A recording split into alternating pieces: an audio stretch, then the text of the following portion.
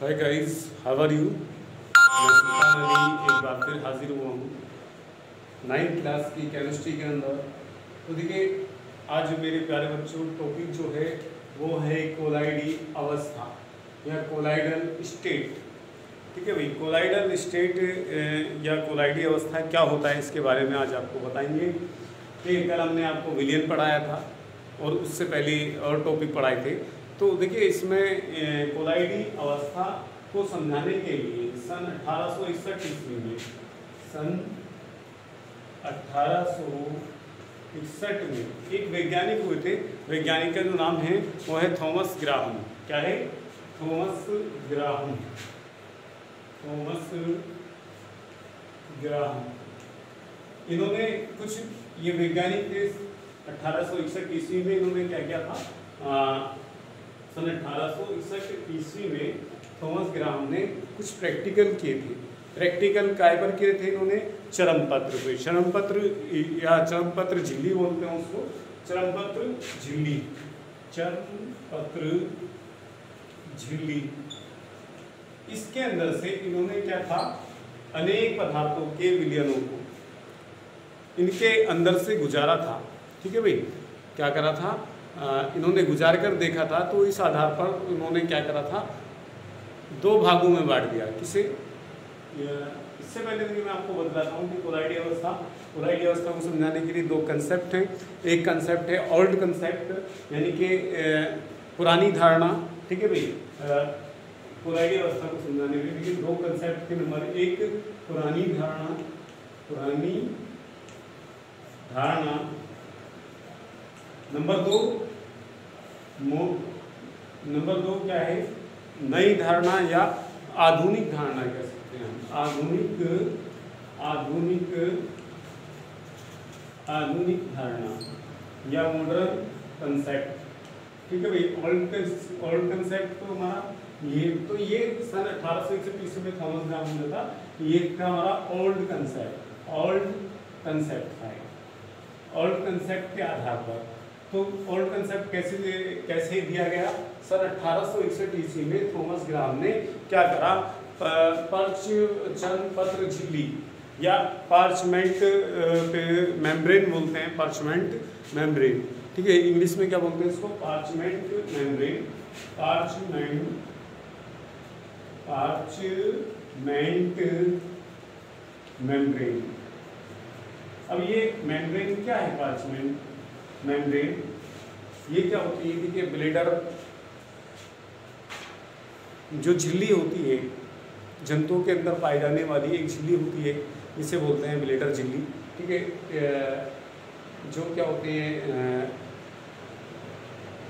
जंतुओं के अंदर से निकाली जाती है तो या बकरे के पेट की, पेट के पेटे से निकाली जाती है, पेट के ऊपर एक झिल्ली पाई जाती है तो उसको अलग किया जाता है। या तो वो झिल्ली या फिर क्या था, या अंडे का, अंडे के ऊपर जो एक झिल्ली पाई जाती है उसे भी क्या, वो भी क्या करती है, वो भी एक झिल्ली होती है, भाई कोशिश। तो एक झिल्ली से उन्होंने जिसे चरमपत्र झिल्ली यानी कि चरमपत्र कहते हैं, वो भी जो स्किन की झिल्ली होती है, चरम माने स्किन स्किन से बनी हुई झिल्ली। अब वो चाहे, वो खाल से भी हो सकती है, अंदर से भी ली जा सकती है झिल्ली, ठीक है भाई?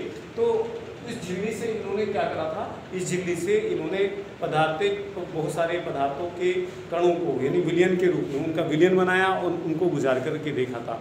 तो गुजारने पर उन्होंने पदार्थों को दो भागों में विभाजित किया था। आ, एक तो था क्रिस्टलाभ पदार्थ दूसरा क्रिस्टलाभ नंबर एक था क्रिस्टलाभ क्रिस्टलाभ दूसरा है कोलाइड। कोलाइड। ठीक है, कोलाइड। ये कोलाइड यानी दो दो पदार्थों में बांट दिए क्रिस्टलाब और कोलाइड। ठीक है भाई, अब इनों के अंदर देखिए, इन्होंने क्या कहा? इन्होंने जो प्रैक्टिकल किया था चांपत्र झिल्ली में से बहुत सारे पदार्थों के विनियनों को गुजारा। तो जो इसमें से गुजर गए, जो इसमें से गुजर गए कृष्ण जो गुजर गए किसमें से चरम पत्र में से? तो ये गुजर जाते हैं। इस पदार्थ, ये ये जो होते हैं क्रिस्टलाप के कण, यानी क्रिस्टलाप का, ये ये क्या होते हैं? चरणपत्र झिल्ली में से गुजर जाते हैं। जैसे क्या होता है? चीनी चीनी और नमक का विलयन चीनी और नमक का विलयन ठीक है भाई? यानी चीनी के कण या नमक के विलयन में से इसके कण क्या होते हैं वो? एक जगह से दूसरी जगह को निकल जाते हैं, यानी चरणपत्र झिल्ली में से निकल जाते हैं। तो उनको क्या कहा गया? आर पार चले जाते हैं तो उनको कहा गया क्या? उनको कहा गया क्रिस्टलाभ ठीक है भाई? यानी आसानी से चले जाते हैं। जैसे चीनी, नमक, यूरिया हो गया, ये सब क्रिस्टलाभ है। दूसरा था, कोलाइड। कोलाइड में क्या था? ये क्या होते हैं? कोलाइड के जो कण होते हैं यानी कि ऐसे पदार्थ जिनके कण जो होते हैं चरम पत्र में से ए, एक जगह से दूसरी साइड में यानी कि आर पार आसानी से नहीं जा सकते हैं तो इन्हें क्या कहा गया? इनको कोलाइड कहा गया। जैसे क्या था? गोंद सरेस जिलेटिन एल्ब्यूमिन ये ये पदार्थ के कण। ठीक है भाई? भाई इसमें क्या था? जिलेटिन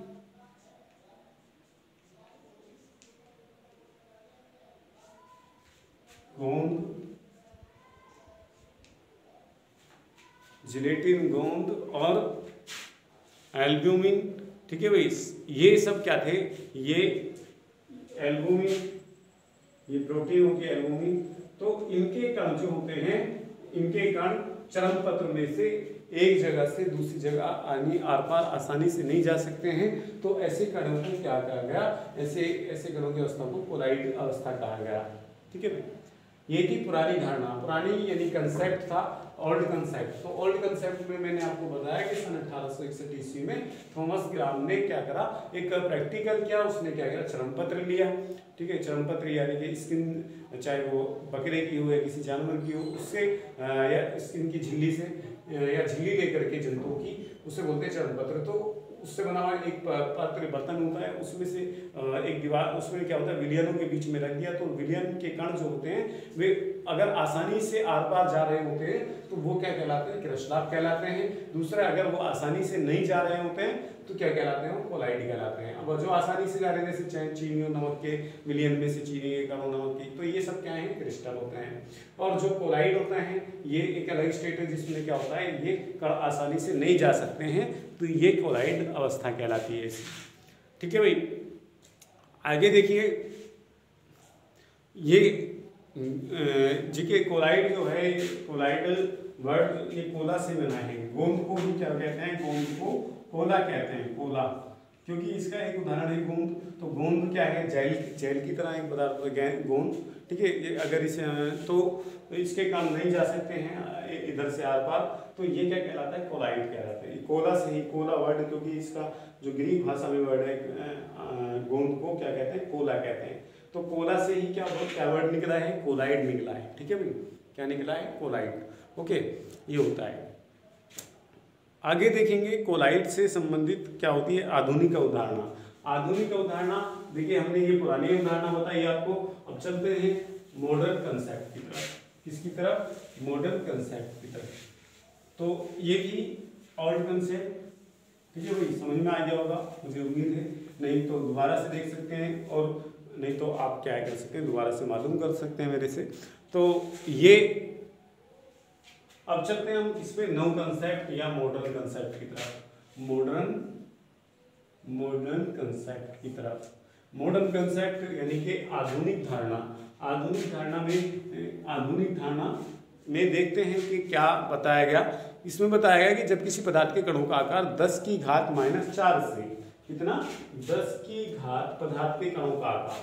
पदार्थ के कणों का आकार दस की घात माइनस चार से कितना होता है? दस की घात माइनस चार से दस की घात माइनस सात सेंटीमीटर के क्षेत्र में होता है। दस की घात माइनस चार से दस की घात माइनस सात सेंटीमीटर के क्षेत्र में होता है। यानी इतने इसके इतने क्षेत्र के, यानी इतने मोटे होते हैं पदार्थ के कण तो क्या कहलाते हैं? वो कोलाइड अवस्था कहलाती है। ठीक है भाई? और यानी कि ये कण जो होते हैं किसी माध्यम में बिखरे हुए होते हैं, किसी अन्य यानी कि विलायक में घुले हुए होते हैं तो ये क्या कहलाता है? ये कोलाइड अवस्था कहलाता है। ठीक है, कोलाइड अवस्था कहलाती है। तो इसमें क्या होगा यानी कि वो पदार्थ ऐसे ऐसे पदार्थ ऐसी अवस्था जिसमें क्या होते हैं? कणों का आकार जो होता है, दस की घात माइनस चार से दस की घात माइनस सात का क्षेत्र के होते हैं? और ये किसी माध्यम में घुले हुए होते हैं, या माध्यम में क्या होते हैं? बिखरे हुए होते हैं। ठीक है भाई, अब क्या होता है देखिए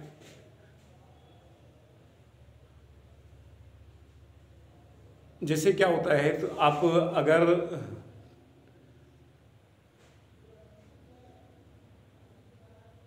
यहाँ पर देखिए आगे कह रहा है कि भाई, स्पष्ट है कि कोलाइट कोई पदार्थ नहीं है, वरन किसी पदार्थ की एक विशेष अवस्था है, जिसे कोलाइड अवस्था कहते हैं। अतः कोलाइट तथा कोलाइड पदार्थ शब्दों के स्थान पर कोलाइट अवस्था शब्द का प्रयोग अधिक उपयोग। यानी कि ये कह रहे हैं कि भाई, किसी, हम क्या कहते हैं कोलाइड पदार्थ नहीं कह सकते। इनको क्या बोलेंगे? इसे पदार्थ की अवस्था कहेंगे, स्टेज कहेंगे, जिस तरीके से लिक्विड, थॉस और द्रव, यानी कि एक वो विशेष अवस्था होती है, जिसमें क्या होते हैं, ये दस की घात माइनस चार से दस की घात माइनस सात के क्षेत्र में होते हैं और किसी माध्यम में घुले हुए होते हैं। ठीक है भाई? ये होता है क्या? ये कोलाइड अवस्था कहलाती है। ठीक है भाई? जैसे गोंद होता है। आगे देखें। नेक्स्ट हमारा निलंबन। निलंबन निलंबन भी देख लेते हैं। देखिए, एक नया टॉपिक एक इसके अंदर टॉपिक है। ये तो हो गया हमारा क्या? मॉडर्न कंसेप्ट मॉडर्न कंसेप्ट में क्या होता है कि दस की घात माइनस चार से दस की घात माइनस सात के क्षेत्र में कण क्या होता है? किसी माध्यम में घुले हुए होते हैं। तो वो क्या कहलाता है? वो कोलाइड अवस्था कहलाती है। ठीक है भाई? और इसमें हम क्या है? किसी ऐसे पदार्थों को कोलाइड पदार्थ नहीं कहेंगे, बल्कि कोलाइड अवस्था। इन्हें इस पदार्थ की क्या कहते हैं? कोलाइड अवस्था कहला, कहते हैं। भाई तो आपने अभी तक पढ़ा होगा ठोस, द्रव, गैस, लेकिन एक और अवस्था होती है कोलाइड अवस्था, ठीक है ना, जिसे प्लाज्मा स्टेज बोलते हैं, ठीक है भाई? तो आगे देखिए एक टॉपिक है आपका, निलंबन सस्पेंशन सस्पेंशन बोलते हैं, निलंबन, ठीक है भाई? निलंबन निलंबन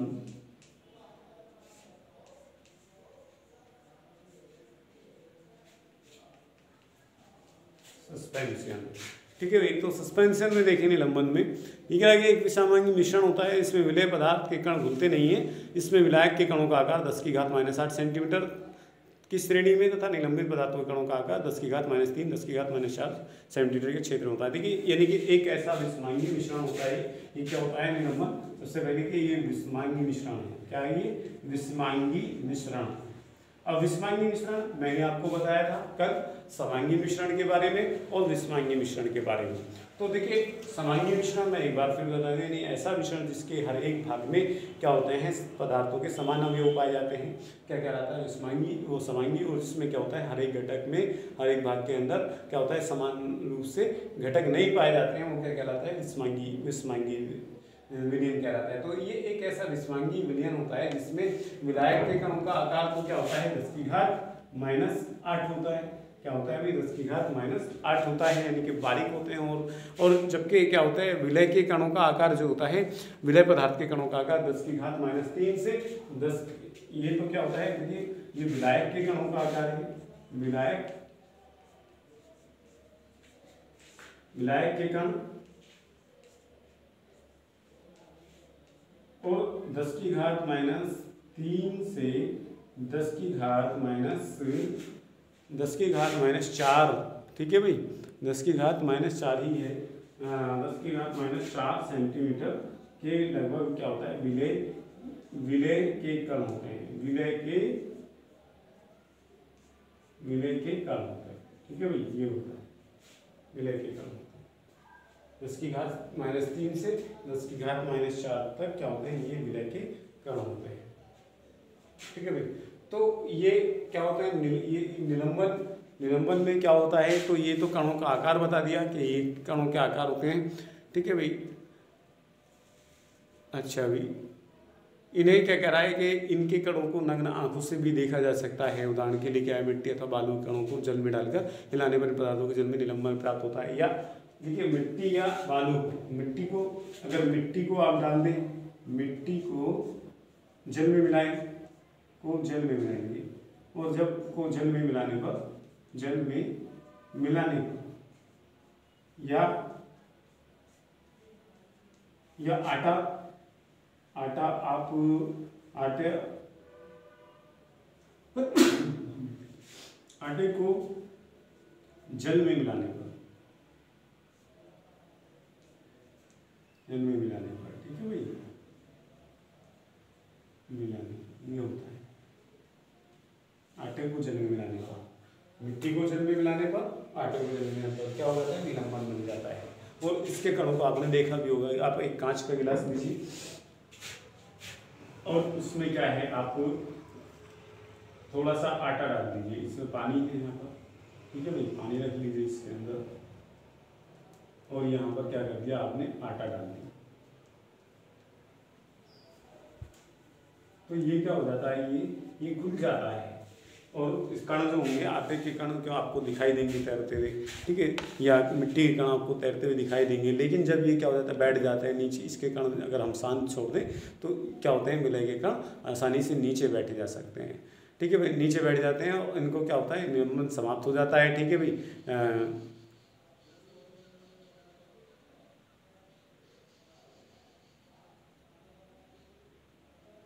अच्छा फिर क्या होता है? देखिए, इसको हम इनको हम मिश्रण से पृथक भी कर सकते हैं, निलंबन से कणों को क्या कर सकते हैं? अलग कर सकते हैं। जैसे मट्टी मट्टी घोला, आपने पानी के अंदर घोला और पानी के अंदर घोलने पर क्या होता है? अगर आपने उसको रख दिया, रखने पर क्या होता है? वो उस नीचे बैठ जाते हैं कण और कण नीचे बैठ जाएँगे तो क्या होगा?